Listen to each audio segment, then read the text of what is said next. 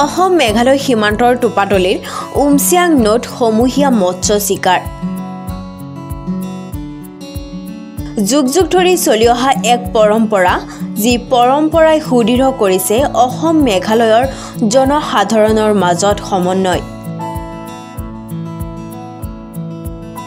উল্লেখ্য যে বহাগ মাহৰ বতৰ ফৰকাল হোৱা এটা দিনত দুয়োখন ৰাজ্যৰ শ শ পুৰুষ মহিলা একত্ৰিত হৈ উমচিয়াং নৈত কৰে সমূহীয়া মৎস্য চিকাৰ। এই মৎস্য চিকাৰৰ বিশেষত্ব হ'ল পাহাৰী বনৌষধি গছৰ শিপা খুন্দি ইয়াৰ ৰস নৈৰ পানীত মিহলি কৰি দিয়া হয়। এই ৰস নৈৰ পানীৰ লগত মিহলি হোৱাৰ পিছতে নৈৰ পানীত থকা মাছ কাছ নিচাসক্ত হৈ পৰে আৰু ইয়াৰ সুবৰ্ণ সুযোগ গ্ৰহণ কৰি নৈৰ পাৰত ৰৈ থকা শ শ মাছুৱৈয়ে বিভিন্ন মাছ ধৰে।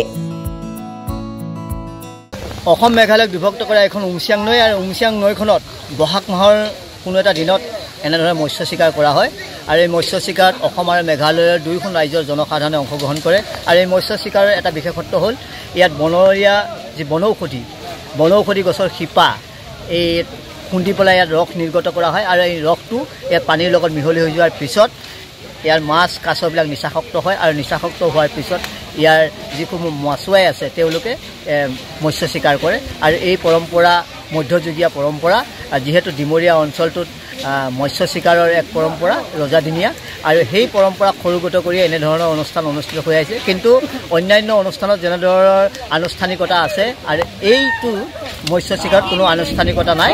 ৰাইজে একেলগে লগ হৈ আৰু লগ হৈ তেওঁলোকে এনেদৰে মৎস্য চিকাৰ ব্যুৰ' ৰিপৰ্ট নাৰদ লাইভ।